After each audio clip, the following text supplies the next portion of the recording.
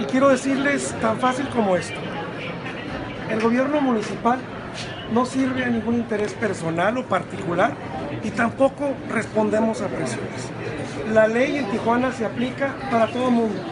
Algunos personajes no están acostumbrados de que la ley sea pareja, pero este es el cambio que los tijuanenses pidieron y lo estamos llevando a cabo.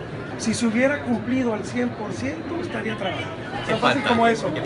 Faltan algunos detalles que en su momento tanto el secretario de Gobierno como el secretario de Desarrollo Urbano les van a dar los detalles de cada uno de los pasos.